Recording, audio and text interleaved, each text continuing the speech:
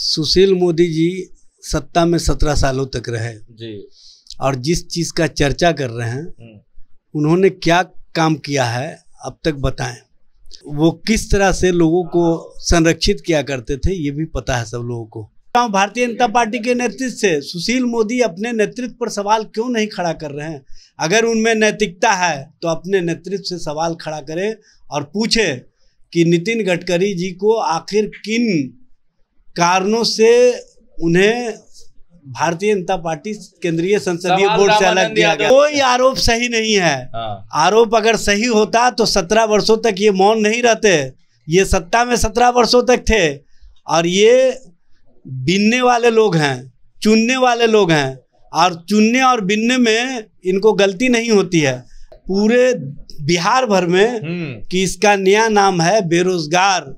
जुमलाबाज party. और उस जुमलाबाज party के सबसे बड़े अभी कोई पैरविकार बने हुए हैं तो उसका नाम है सुशील मोदी। आरोप प्रत्यारोप। चलता आ रहा है। रामानंद यादव ने जहाँ सुशील मोदी को घेरा, सुशील मोदी कागज़ पत्तर लेकर आ गए। 2017 की कहानी याद कीजिए, वैसे ही लग रहा था। और उसके बाद एक एक करके आरोप गिराने लगे। लालू यादव, राबड़ी देवी और रामानंद यादव पे। और कह दिया भाई की जो विभाग है ना उसको दे दीजिए किसी और को नीतीश जी। नहीं तो इन लोग घोटाला करते रहेंगे। हमारे साथ एजाज अहमद जी हैं। एजाज अहमद जी आप लोग करते कुछ हैं तभी तो सवाल उठता है ना? अभी तो कागज़ पत्तर लेके बैठ गए हैं सत्रह में बैठे थे। सुशील मोदी जी सत्ता में सत्रह सालों तक रहे। जी। और जिस चीज़ का चर्चा कर रहे हैं हम्म, उन्होंने क्या काम किया है अब तक बताएँ। और वो खुद खनन मंत्री रहे हैं। हम्म, और खनन विभाग से उनको कितना प्रेम रहा है ये किसी से बताने की आवश्यकता नहीं है। और वो किस तरह से लोगों को संरक्षित किया करते थे ये भी पता है सब लोगों को। देखिए डिक्टेशन की राजनीति हम्म, भारतीय जनता पार्टी ही कर सकती है।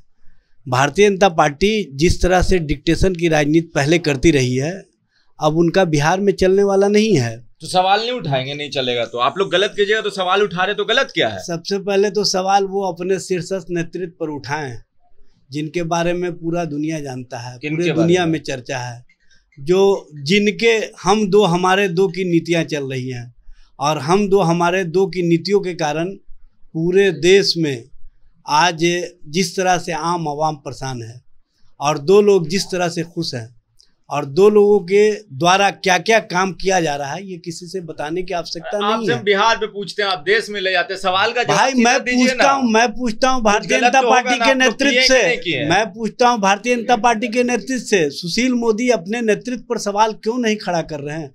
अगर उनमें नैतिकता है तो अपने नेतृत्व से सवाल खड़ा करें और पूछे कि नितिन गडकरी जी को आखिर किन कारणों से उन्हें भारतीय जनता पार्टी केंद्रीय संसदीय बोर्ड से अलग दिया किया गया। पे होगा तो आप नितिन गडकरी पे पहुँचा भाई ज़ाहिर सी बात है राजनीति में आप सिरमौर पर जो लोग आपके हैं जो संरक्षित किए हुए हैं आपको हाँ, वो अगर गलत कर रहे हैं और आप कहते हैं कि मैं नैतिकवान हूँ हाँ। तो आपकी नैतिकता उस समय कहाँ गुम हो मतलब जाती है? आप गलत वो गलत करे तो आप भी गलत कर लीजिएगा। मैं गलत कहाँ कर रहा हूँ? मैं तो सही कर रहा हूँ। मैं जनता की आवाज़ हूँ जनता की बात रखता हूँ जन सरकार के मुद्दे पर। बालू वाला क्या खेला है? जन यहाँ तो स्पष्ट है कि जो जनता के सवालों पर कोई सवाल खड़ा करेगा हाँ। उसको ये सवालों के घेरा में आरोप सही है क्या कहना आपका? कोई आरोप सही नहीं है। हाँ, आरोप अगर सही होता तो सत्रह वर्षों तक ये मौन नहीं रहते। ये सत्ता में सत्रह वर्षों तक थे। और ये बिनने वाले लोग हैं चुनने वाले लोग हैं। और चुनने और बिनने में इनको गलती नहीं होती है। अगर इनके पास कुछ होता तो अब तक कहाँ से कहाँ पहुँच गए होते।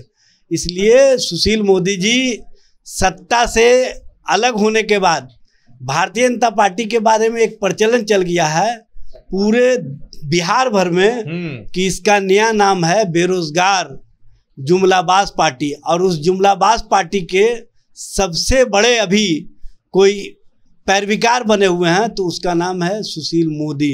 सुशील मोदी जब सत्ता में भाजपा थी तो कहाँ थे किस तरह से थे और किस तरह से उनको आडवाणी और मुरली मनोहर जोशी की श्रेणी में रख दिया गया था और वो आज अपने रोज़गार के तो उनको मामले तो में कुछ राज्यसभा सांसद पहले भी थे भाई राज्यसभा सांसद होना नहीं उनका राजनीति में नेतृत्व समाप्त हो गया था। उनको कोई भारतीय जनता पार्टी के कार्यालय में घुसने नहीं देता था। वो भाजपा के कार्यालय में कभी प्रेस कॉन्फ्रेंस क्यों? इन दो वर्षों की सत्ता में ये आप हमको साबित कर दीजिए। चलिए, ठीक है। एजाज अहमद जी का कहना है, रोज़गार चला गया था, वापस मिला है, क्योंकि सरकार गिर गई है तो रोज़गार मिला है तो काम तो करना होगा। इसीलिए उल जुल सवाल उठा रहे हैं। आपको क्या लगता है कि ये जो पूरा प्रकरण हुआ है, और ये जो आरोप है, वो कितना सही, कितना गलत, आप अपनी राय नीचे कमेंट बॉक्स में लिखे। जुड़े रहे हमारे साथ, तब तक लिए आपका बहुत बहुत धन्यवाद।